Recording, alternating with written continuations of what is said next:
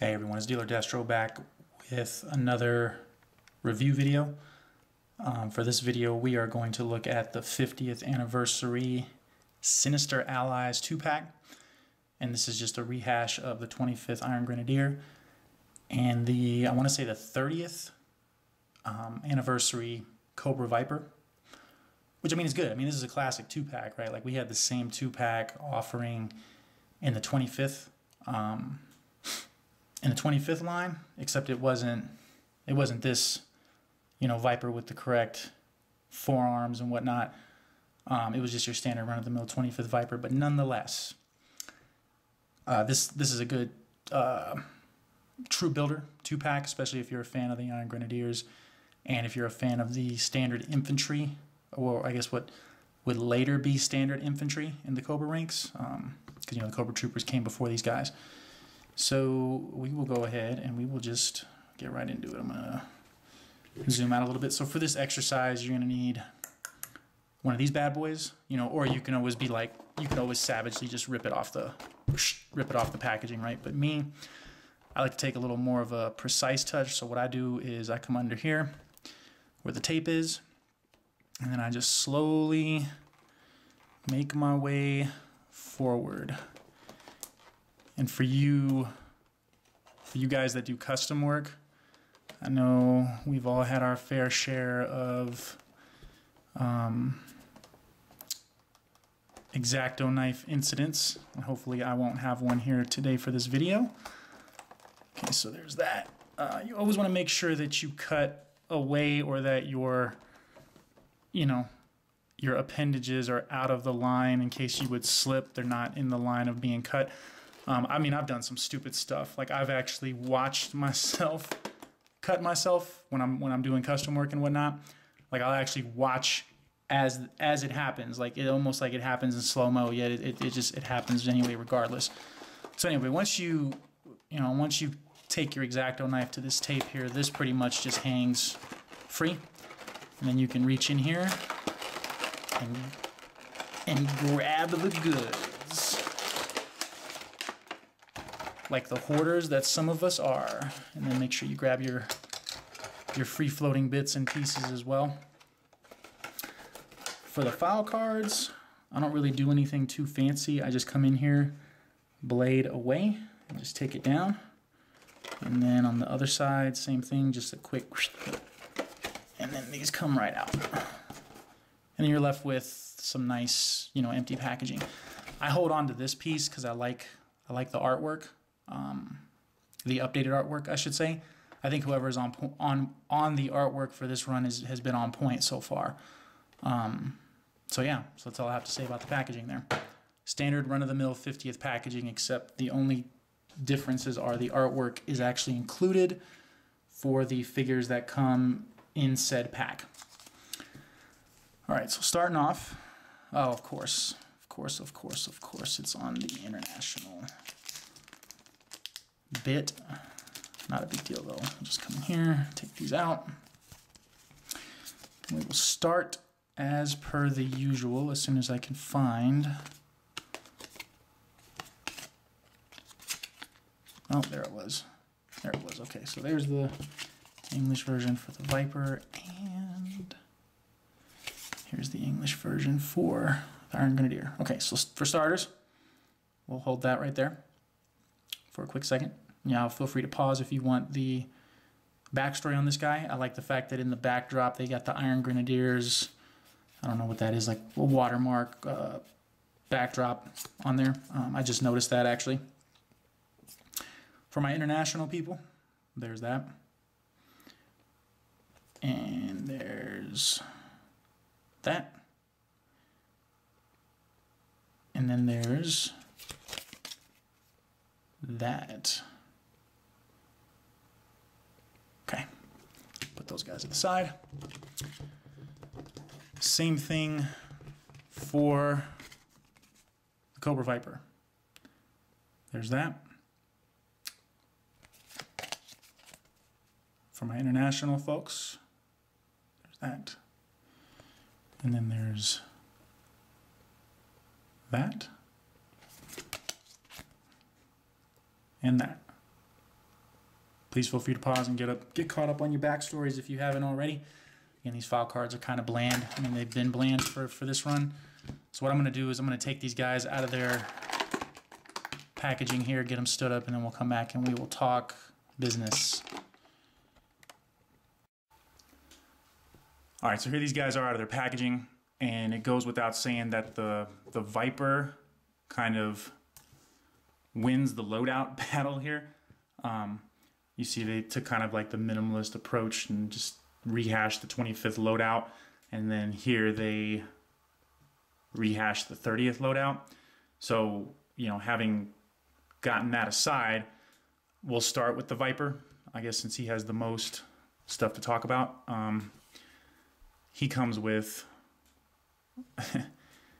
a ton of accessories.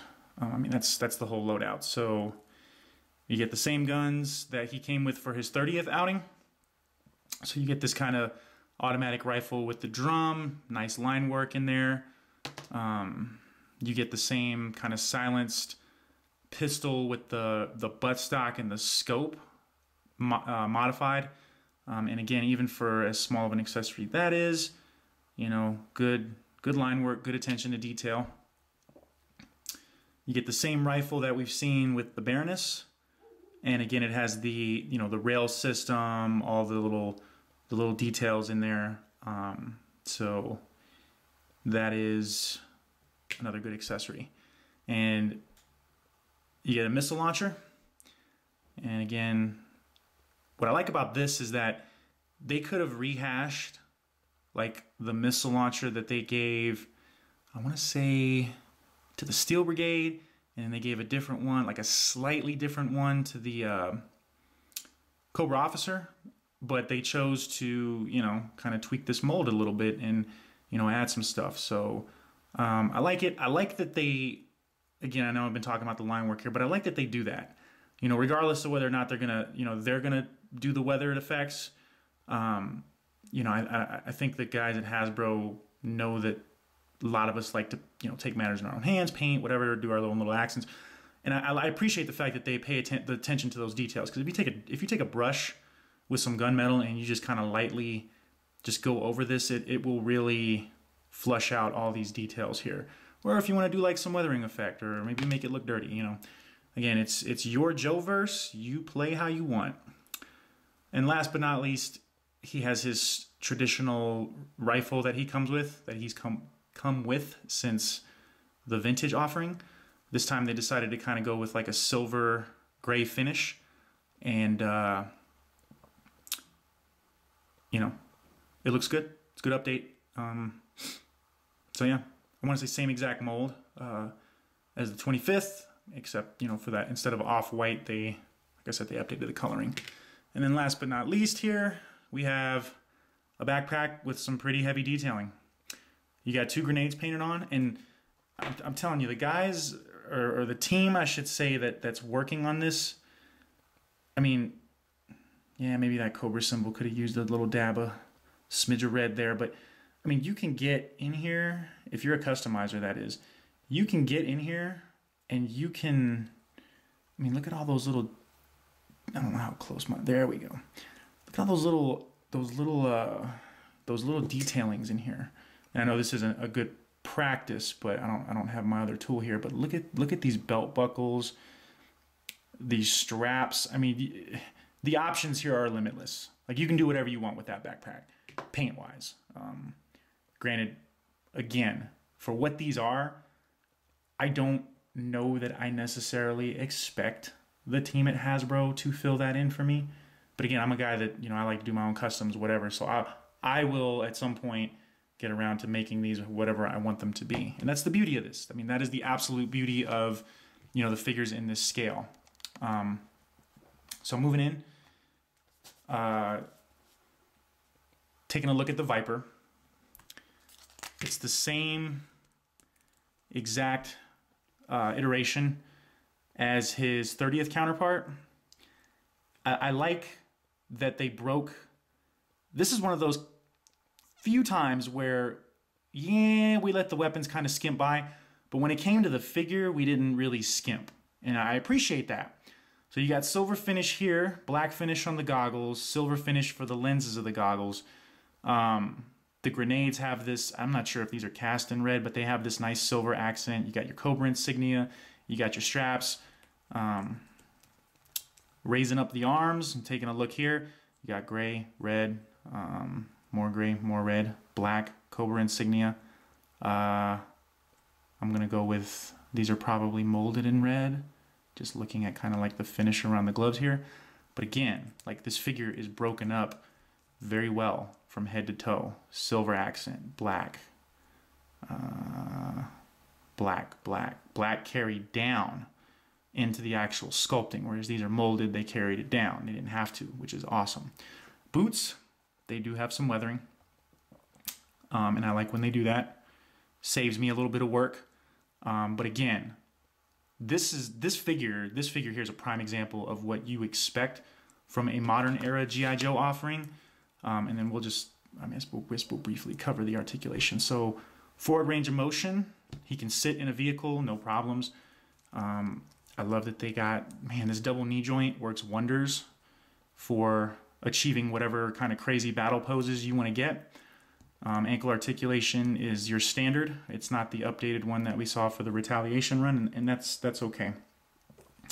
So arms get you up to there. If you want to go the anatomically correct route, if you want to get crazy with it, full 360, no problem. The elbows are a bit hindered, and that's just because of the sculpt. And that's not that's not that that's not a problem for me anyway. It's not that big of a deal. And do I have? Oh, whoops. My bad. Um, so this elbow a little bit better than this one. And again, I'm thinking that's the, because of the sculpt. They did get a little touch and go here, but I think you know that's not a problem. You can X-Acto knife that off. I think what they did is they assembled the figure maybe and painted it. I don't I don't know, or maybe they put the piece on before it was dry. Not not sure how it goes. Not sure how it goes, but this is definitely red plastic with the flesh tone painted over it because you can kind of see it bleeding through the joint there. Um, hands have the nice updated modern era uh, range of motion with the added point of articulation, and I will I will take that anytime you give it to me. Um, so same on that side too. So that is pretty much it for this guy. Um, I'm going to go ahead and get the Grenadier back in frame here, and then we'll go ahead and talk about him. So I'll be right back. All right, so here's the Iron Grenadier. So we'll get down to this second half of business. Um, again, as I mentioned earlier, they did very much take the minimalist approach with him as compared to the Viper. So he comes with same Uzi that was offered for the 25th run. Again, good line work, good attention to detail. And then I, I have yet to figure out for the life of me like what or where or why this is packed in. I always remembered the vintage one coming with this and the sword, but maybe he did come with a um, a little blaster of sorts. I'm, I'm not sure, but that's that's what you get with the Grenadier as far as loadout. Um, and then popping in here, we'll take a closer look at the figure. So he does have a sword um, or a sword if you follow that school of thought. And it's it's done very nice. You got nice color breakup here. They did go ahead and paint the blade. So some of these are a little sketchy or touch and go, if you will. Um, but not like nowhere near as bad as the Saw Viper. Or actually, maybe that might be, maybe that's gray plastic and then this is paint. These are painted on. I don't, I don't know. Needless to say, though, it looks good. Um, so coming into the figure here, sorry, it's I'm having trouble. I'm having trouble getting the elbows straightened out here. Okay, so head is what you have come to expect from the updated Iron Grenadier mold. Um, you know, it looks looks good for being an old mold. Uh, you know, I don't I don't um, I really don't see anything new here aside from the 25th and maybe at the end we'll take a look at the 25th next to the these updated guys here. But um, so you got the red mask, um, gloss on the goggles, and then I think that's like a matte with a, maybe a, a, gloss finish. the web gear looks good, line work looks good, and I'm, the, the reason that I'm talking about this is because the 50th run has had some problems as far as QC. I mean, you saw it in the Heat Viper video for those of y'all that watched that video. And I mean, you know, you guys you guys already know. Like quality has kind of done this and now with I think with this I don't even know what run we're on in the 50th third third run, second or third run. They've stepped it back up and kind of I'm thinking took a step back to kind of level set on what we're used to seeing from GI Joe, as opposed to what we got for the for those flaky runs of the 50th. Um, and now we're now we're back to business, at least from what I'm seeing. Um, so yeah, um, so same sculpt as the battle armor Cobra Commander. Uh, nothing nothing really new here, uh, but they did you know they did fill in the red like they did with the old figures. The the belt same exact offering. You got the plastic chain attached to the belt, um, gold finish on the sheath as well. So this is, and I don't know if it's the same on the 25th. I just, uh, 25th POC, all of those eras, I really didn't look at like how good they stayed in the lines. So I'm sure I got some figures that are just bleh. Like it looks like, you know, my two year old son could have done a better job. Um, but what I noticed here is the legs here, right? The sculpting at the top, I guess, of this this the boot, maybe I'm, is what that is. I'm not sure. The armor or whatever.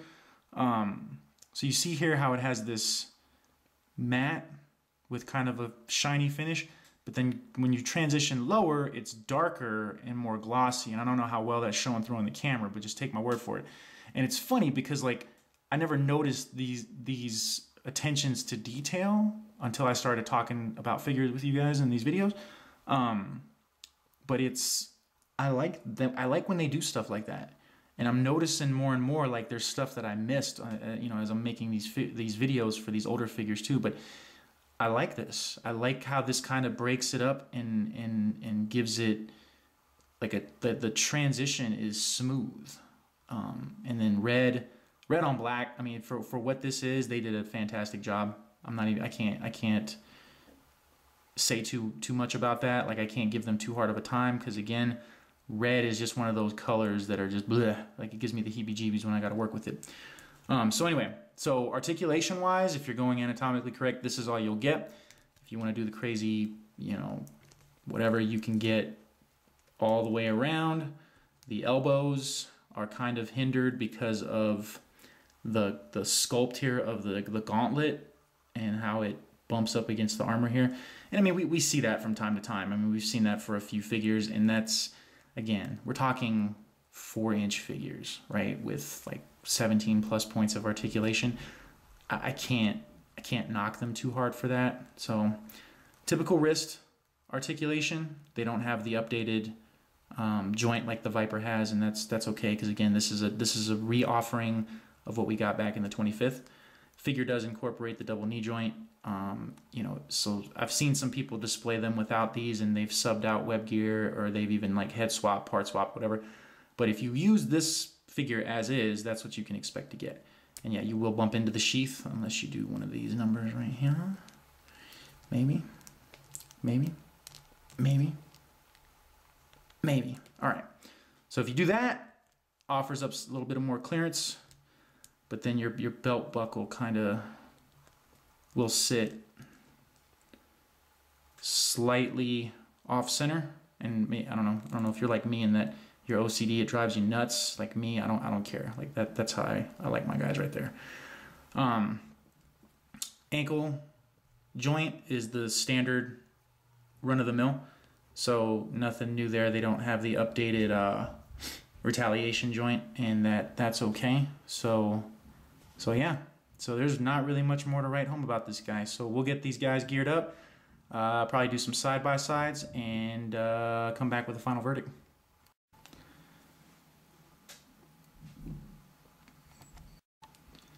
All right, so we're back, and this is a side by side. Um, and two things. Two things. one, man, I forgot how hard it was with these single peg Cobra stands. These things suck. I'm glad that they finally started doing Cobra stands the same way as the G.I. Joe stands, and I never quite understood that. Like the entire 25th run, it seems like all the Cobra fans got the short end of the stick because these stands only have one peg, whereas every G, every GI Joe stand from the dawn of since the dawn of the 25th, two pegs. So, thank you for this. Um, second, second thing that I want to talk about here, and this is, oof.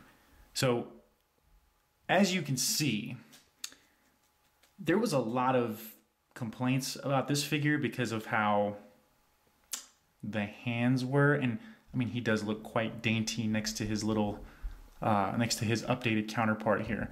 So that was a problem.